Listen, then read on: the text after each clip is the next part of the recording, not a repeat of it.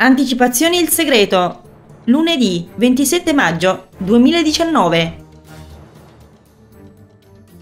Consuelo per fortuna compare all'improvviso e riesce a salvare Elsa dalle grinfie di Antolina. Quest'ultima, messa alle strette, non sa come trovare le parole giuste per giustificarsi. Elsa quindi viene trasferita in locanda e racconta ad una sconvolta Marcella che cosa le è successo. Dice di essere certa che Antolina ha tentato di ucciderla.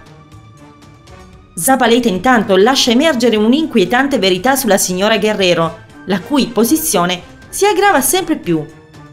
Consuelo successivamente ha modo di restare da sola con il medico e spiega di essere certa di una cosa.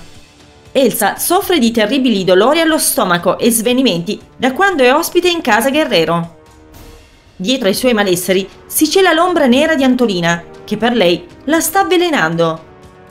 Zabaleta non può credere alle sue orecchie.